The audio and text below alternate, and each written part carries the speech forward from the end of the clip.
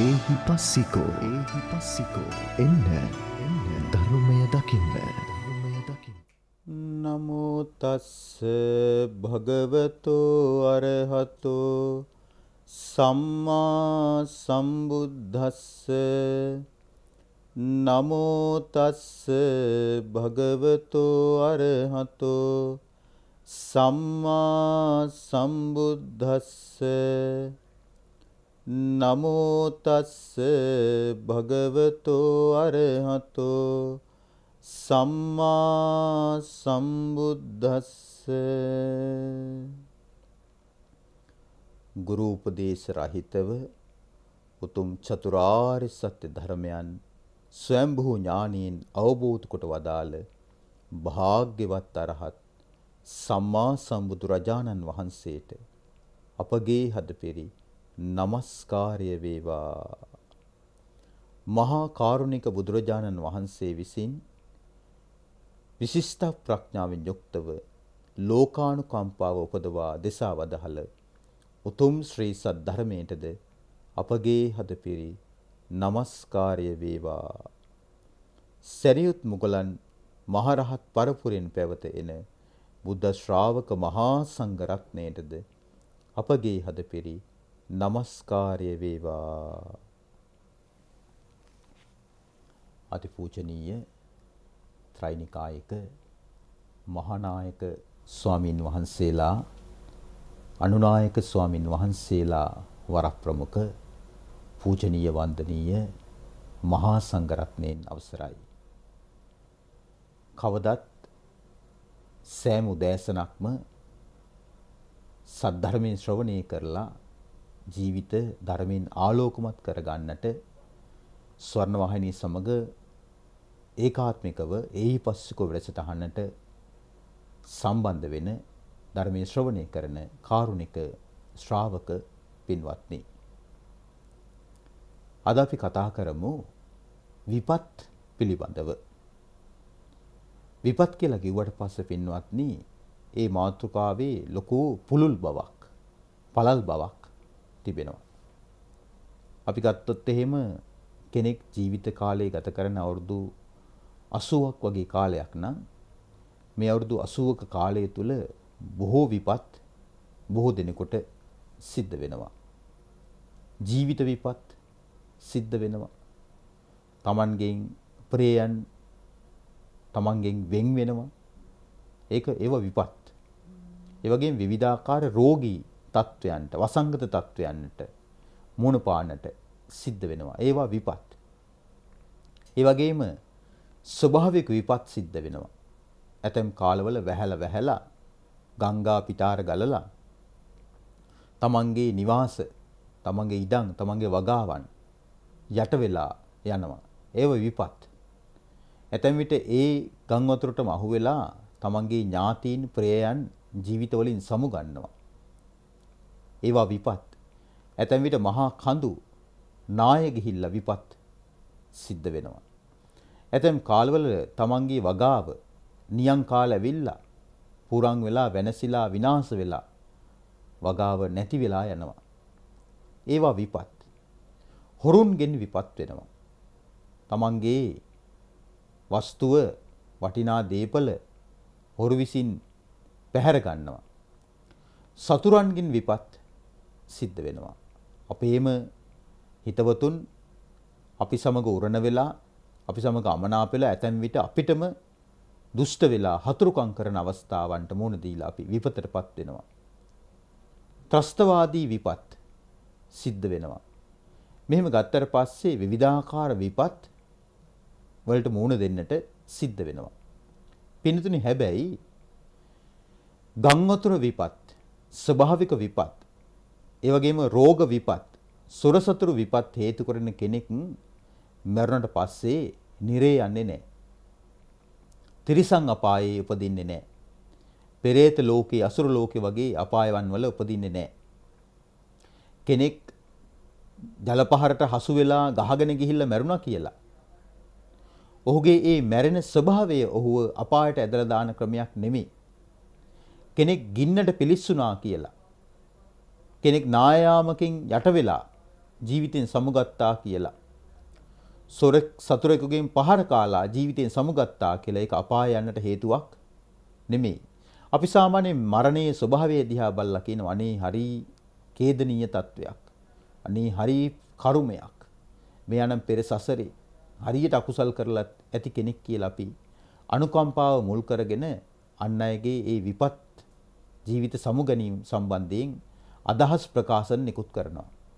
නමුත් පින්වත්නි බුද්ධ ශාසනයක් තුලත් බුදුරජාන් වහන්සේ විපත් කියන එක පෙන්වලා දීලා තියෙනවා. උන්වහන්සේ ප්‍රධාන වශයෙන් අපිට පෙන්වනවා විපත් තුනක්. ඒ විපත් තුන හඳුන්වනවා සීල විපත්තිය, චිත්ත විපත්තිය සහ ditthi විපත්තිය කියන ආකාර තුනකින්. උන්වහන්සේ මේ පිළිබඳව අපිට විග්‍රහ කරනවා අංගුත්තර නිකායේ තික නිපාතයේ. කරුණු තුනකින් වදාළ ධර්ම කොටාසේ තුල. සීල විපත්තිය, චිත්ත විපත්තිය සහ ditthi විපත්තිය කියන විපත් තුන. අර කලින් අපි සඳහන් කළා ගම් වතුරට අහු වුණා කියලා අසනීපකින් ජීවිතෙන් සමුගත්තා කියලා නායාමකට අහු වුණා කියලා සොරසතුරු ත්‍රස්තවාදී විපතකින් මිය ගියා කියලා කෙනෙක් ඒ හේතු කරගෙන ඒකාන්ත වශයෙන් අපාගත වෙන්න විදියක් නැහැ. ගංගොතට අහු වෙන කෙනා සීලවන්තයෙක් නා. හොරහතුරන්ගෙන් පහර කාලා මෙලොවෙන් සමගන්න කෙනා ගුණවන්තයෙක් නා. ත්‍රස්තවාදියෙක් ප්‍රහාර එල්ල කරනකොට ඒ බෝම්බ ප්‍රහාරයෙන් මිය යන කෙනා ගුණවන්තයෙක් නම් ඒ ගුණවන්තයා මරණින් මත්තේ අපාගත වෙන්නේ කොහොමද? මරණයේ ස්වභාවය ගැන සිහි කරලා අපිට කියන්න පුළුවන්ද? ඒ කෙනා දුගතිගාමී වුණා කියලා. නමුත් පින්වත්නි අපි සුදර සුදේ සුදු ඇඳුම් ඇඳත් මේ ලෝකේ මහා ප්‍රසිද්ධ අය බවට පත් වුණත් ජනයා පිරිවරාගෙන යන අය බවට පත් වුණත් ආරක්ෂා සේනා සන්නද්ධ කරගෙන යන අය බවට පත් වුණත් යම් කෙනෙක්ට මේ විපත්ති තුන තියෙනවා නම් ගැලවෙන්නට පුළුවන් කමක් ලැබෙන්නේ නැහැ. ඒ විපත්ති තුන මොකද්ද? සීල විපත්තිය, චිත්ත විපත්තිය සහ ditthi විපත්තිය. දැන් අපි මේ විපත්ති තුන එකින් එක කරුණෙන් කරුණ දැන හඳුනා ගමු ඉගෙන ගමු. සීල විපත්තිය. කෙනෙක් සත්ව ඝාතනයේ යෙදෙනවා. සත්ව ඝාතනය කියනකොට තමන්ගේ මුළු තැන්ගේ ඉන්න කුරා කුහුඹ වාගේ සිට මිනිස්සයා දක්වා අයිති ප්‍රාණඝාතයට සත්ව ඝාතනයට. එතකොට යම් කෙනෙක් ප්‍රාණඝාතයේ සත්ව ඝාතනයේ නිරත වෙනවා නම් යම් කෙනෙක් අන්සතු දේ පැහැර ගන්නවා නම් සොරකම් කරනවා නම් තමන්ට බාර නොකරපු තමන්ට හිමිකම් නොකියන යම් මේ පර ස්ත්‍රියක් සමග යම්කිසි පර පුරුෂයෙක් සමග කායිකව වර්ධී බැඳෙනවා නම් කාමී වර්ධවා හැසිරෙනවා නම් ආන් ඒක සීල විපත්තියට අයිති. සීලපත් විපත්තියට අයිති තවත් කරුණු කීපයක් තියෙනවා. ප්‍රාණඝාතය වගේම සොරකම වගේම කාම මිත්‍යාචාරය වගේම යම් කෙනෙක් වචනය මුල් කරගෙන බොරු කියනවා නම් ඒක සීල විපත්තියක්. කේලාම් කියනවා නම් ඒක සීල විපත්තියක්. අනුන්ට නින්දා අපහාස කරනවා නම් අනුන්ගේ ಗುಣ මැකෙන අයුරින් කතා කරනවා නම් ඒක සීල විපත්තියක්. හිස් වචන කතා කරනවා නම් එයත් අයිති වෙන්නේ සීල විපත්තියටයි. යම් කෙනෙක් මත් වෙන, මත් වතුර, මත් පෙති, මත්ද්‍රව්‍ය වගේ දේවල් භාවිතා කරනවා නම් ඒක අයිති වෙන්නේ සීල විපත්තියටයි. එහෙනම් පින්වත්නි මොකද්ද මේ විපත්තිය කියලා කියන්නේ? සිල්පද කඩා ගැනීම නිසා දුකටපත් වෙනවා. දුකටපත් වෙනවා කියලා කියන්නේ මේ ජීවිතයේදීම දුක් විඳිනවා කියන එකම නෙමෙයි. ඇතැම් විට අන් අයව ඝාතනය කරලා සැප විඳින අය ඉන්නව වෙන්න පුළුවන්. අන් අයගේ දේවල් හොරකම් කරගෙන සැප විඳලා ජීවත් වෙන අය ඉන්න පුළුවන්. කාමයේ වර්ධවා හැසිරීමෙන් විනෝද වෙවි ඉන්න අය විනෝද වෙවි ඉන්න අය ඉන්නත් පුළුවන්. බොරු කිය කිය විනෝදෙන් ඉන්නත් පුළුවන්. කේලාම් කිය කිය සමග පිරිස් අසමගි කරලා සතුරෙන් ඉන්නත් පුළුවන්. අනුන්ට නිନ୍ଦා අපහාස කර කර ජීවිතේ මහා ලොකු දෙයක් කරා කියලා හිතාගෙන ඉන්නවා වෙන්නත් පුළුවන්. හිස් වචන කතා කර කර තමන්ටත් අනුන්ටත් අවඩදායි දේවල් කතා කර කර ඉන්න විනෝදෙන් ඉන්න අය ඉන්නත් පුළුවන්. මත්පැන් බිබි මත්පැන්ටම ලොල් වෙවි මත්වීමෙන්ම විනෝදයේ හොය හොය ඉන්න කෙනෙක් ඉන්නත් පුළුවන්. එහෙම කෙනෙක් කල්පනා කරන්න පුළුවන් කෝ දැන් මම මේ මෙච්චර ප්‍රාණඝාත ප්‍රමාණයක් කරලා තියෙනවා. කෝ මට විපතක් නැහැනේ. මම මෙච්චර හොරකම් හොරකම් කරලා තියෙනවා. කෝ මට කිසිම පාපයක් අකුසලයක් පළ දුන්නේ නැහැනේ. මම මෙච්චර කාමයේ වර්ධව හැසිරලා තියෙනවා කෝ මට කිසිම අසනීපයක් නැහැනේ. මම මෙච්චර බොරු කියලා තියෙනවා. මම මෙච්චර කේලම් කියලා තියෙනවා. මම මෙච්චර මිනිස්සුන්ට දොස් කියලා බැනලා තියෙනවා. මම මෙච්චර ප්‍රමාණයක් හිස් වචන කියලා තියෙනවා. කෝ මට මොකවත් විපතක් උනේ නැහෙනි කියලා රැවටෙන්න පුළුවන් ඇතැම් කෙනෙක්. බුදුරජාණන් වහන්සේ දේශනා කරනවා මහණෙනි කෙනෙක් පාප කර්ම කළාට පස්සේ කිරිමි දෙනවා වගේ ඒ පාප කර්මයේ විපාක ඉක්මනින් ඵල දෙන්නේ නැහැ. සාමාන්‍යයෙන් කිරිමු දෝනකොට කලින් දවසේ හවස තමයි කිරිවලට මුහු එකතු කරන්නේ. පහුදා උදේ වෙනකොට කිරි මිදිලා ඒ මිදිච්ච කිරි වලට අපි කියනවා මුදෝපු කිරි කියලා කියනවා. බුදුරජාණන් වහන්සේ දේශනා කරන මහණෙනි මුදෝපු කිරි හැදෙනවා වගේ කිරි මිදෙනවා වගේ කරන පාප කර්මයට පාපී විපාක ලැබෙන්නේ නැහැ. අලු යට ගිනි වගේ පාප කර්මයේ විපාක හැංගිලා තිබිලා ඒ පව් කරන බාලයාව පව් කරන මෝඩයාව ඒ පාප කර්මයේ විපාකයේ විසින් තමයි කියනවා යම් දවසක විඳවන්නේ. පින්නතුනි අපි දන්නවා මේ ලෝකේ තියෙන ප්‍රසිද්ධම සමාජ රෝගයක් තමයි HIV AIDS කියලා කියන්නේ. කාමයේ වර්ධවා හැසිරෙන කෙනා වරක් දෙවරක් තුන්වරක් හතරවරක් කාමයේ වර්ධවා හැසිරුණත් එයාට අවබෝධයක් නැහැ දැන් මට HIV ආසාදනයේ වැළඳුණා. දැන් මම සමාජ රෝගයකට මුහුණ දීලා තියෙන්නේ කියලා. නමුත් කලක් ගත වෙනකොට රෝග ලක්ෂණ ප්‍රකට වෙනකොට තමන්ම කරපු පාප කර්මයේ විපාක තමන්ට විඳවන්න සිද්ධ වෙන්නේ නැද්ද? අන්න ඒ වගේ. ඒක මේ ජීවිතයේදී ලැබෙන සන්දිට්ඨික විපාකයක්. ditta ධම්ම වේදනීය විපාකයක්. අනිත් පාප කර්මත් එහෙම තමයි. සාමාන්‍යයෙන් පාප කර්ම කරන කෙනා හිතන්නේ නැහැ මේ පාප කර්මයෙන් මට විඳවන්නට දුක් ලැබෙයි කියලා.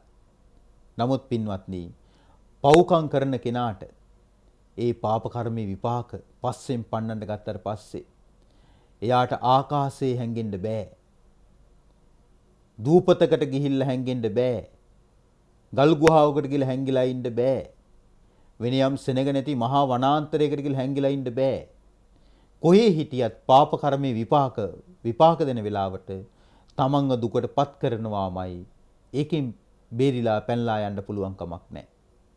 ඇතැම් අරහත් මුනිවරුන්ට පවා සාංශාරික වශයෙන් අතීතයේ කරපු කර්ම රහත් වෙච්ච ජීවිතයේදී පවා විපාක ලැබිලා තියෙනවා.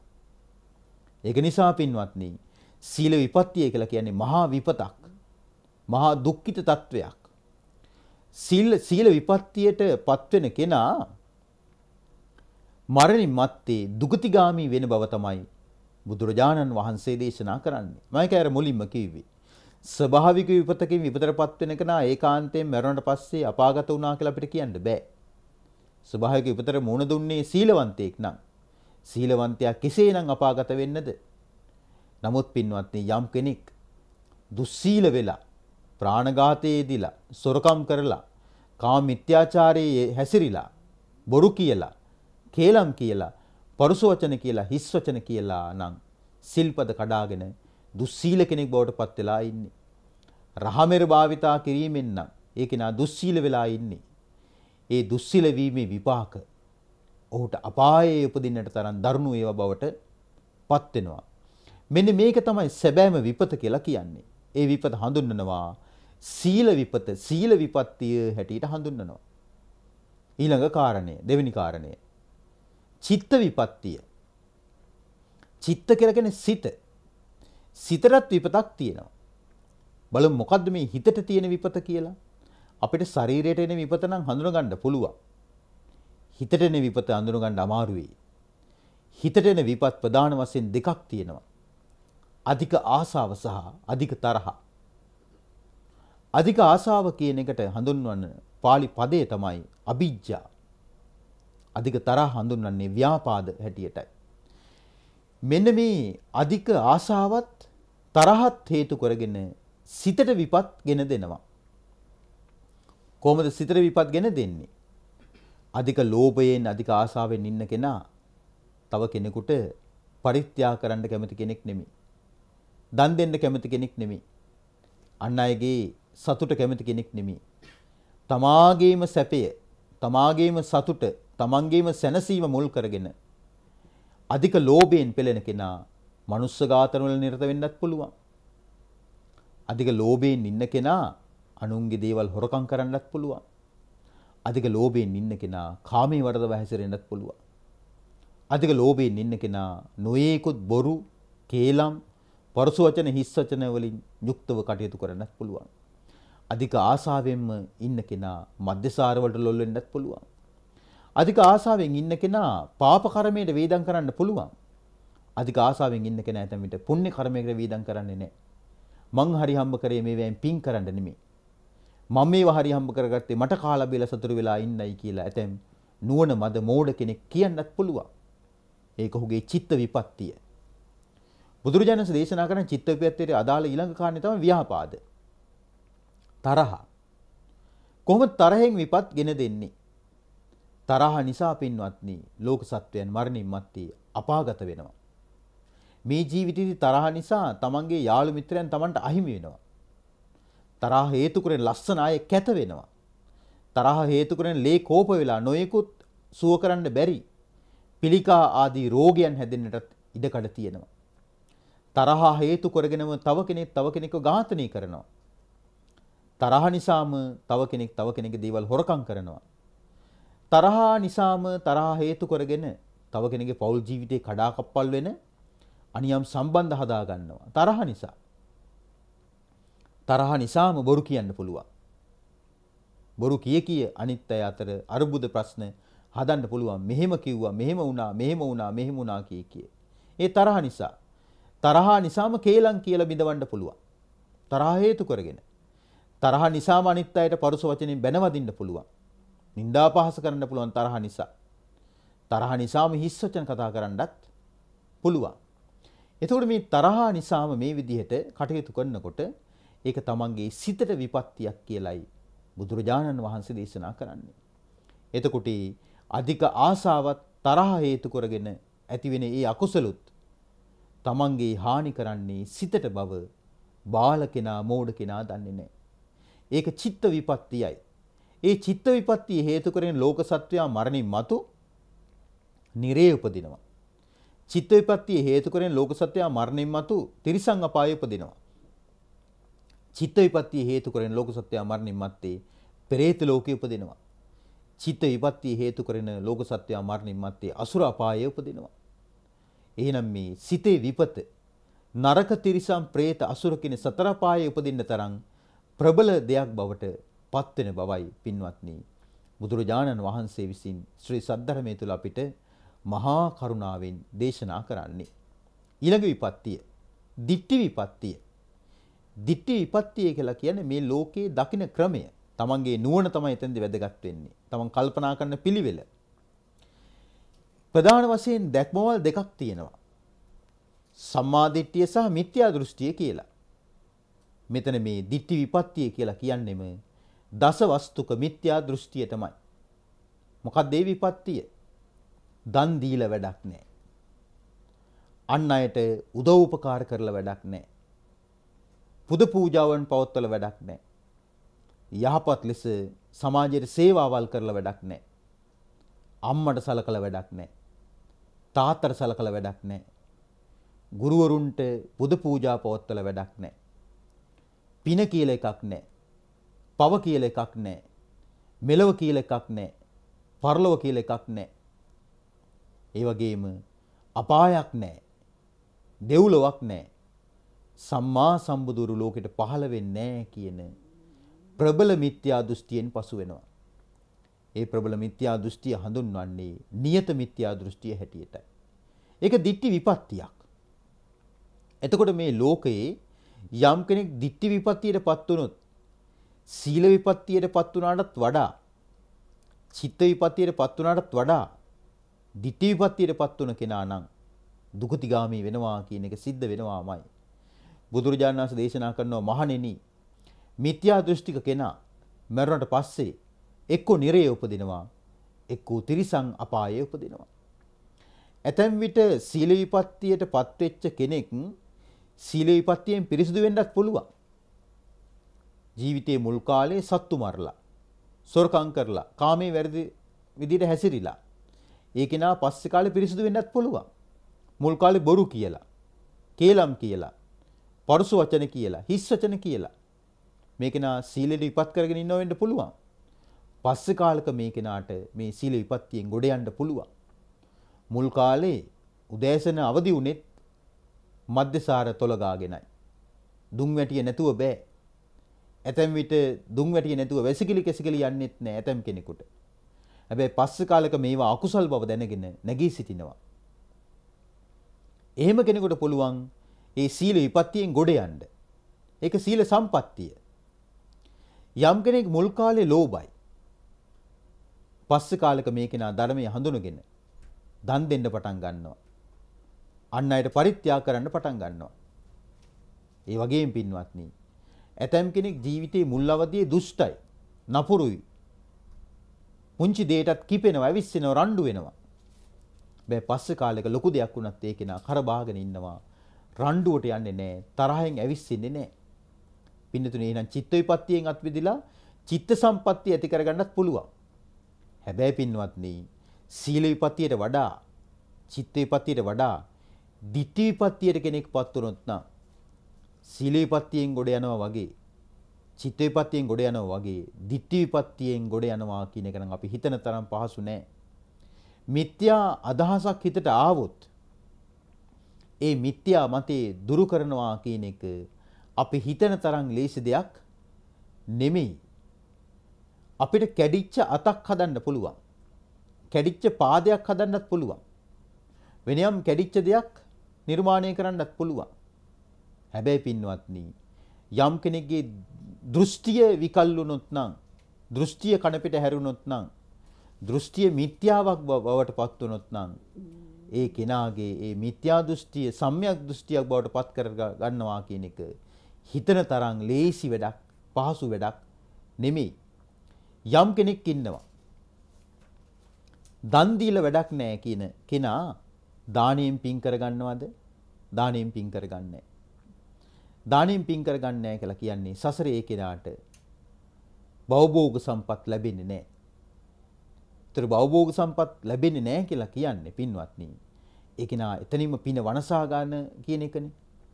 ඒ වගේම යම් කෙනෙක් අම්මට තාත්තට සලකන්නේ නැහැ කියලා කියන්නේ. ඒක කොයිතරම් මිත්‍යා දෘෂ්ටියක්ද? යම් කෙනෙක් කරන සේවාව නිවැරදි ආකාරයට කරන්නේ නැහැ කියලා කියන්නේ. තමන් යම් ආයතනයක සේවාව කරනවා නම් ඒ සේවාවට සරලන වේතනයක් තමන්ට ලැබෙනවා. එතකොට මේ වේතනයට අනුව යම් කෙනෙක් සේවාව නොකොට වංචනික හැටියට කටයුතු කරනවා නම් ඒ කියන්නේ සේවාවෙන් හොරකම් කරන කෙනෙක් බවට පත් වෙනවා. එහෙනම් මේ හොරකම් කරනවා කියලා කියන්නේ කාගේවත් දෙයක් සාක්කුවක දාගෙන බෑගයක දාගෙන යනවා කියන එක විතරක් නෙමෙයි. ඇතම් කෙනෙක් පැය 8කට සේවාව කරන්න වැටුප් අරගෙන ඇතැම් විට වැඩ නොකොට තමන්ගෙන් සේවාව ලබා ගන්න එන අයව රස්යාදු කරමින් තමන් වෙලාවෙන් හොරකම් කරනව වෙන්නත් පුළුවන්. එහෙනම් ඒ හොරකමිනුත් අත්විඳෙන්න ඕනේ. ඒ හොරකම් වලින් අත්විඳින්න බෑ. තමන් ඉන්නේ මිත්‍යා දෘෂ්ටියක නම්.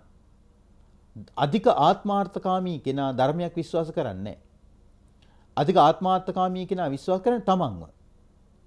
තමන්ව විශ්වාස කරපු කවුරුත් මේ සංසාරේ නිදහස් වෙලා නැහැ.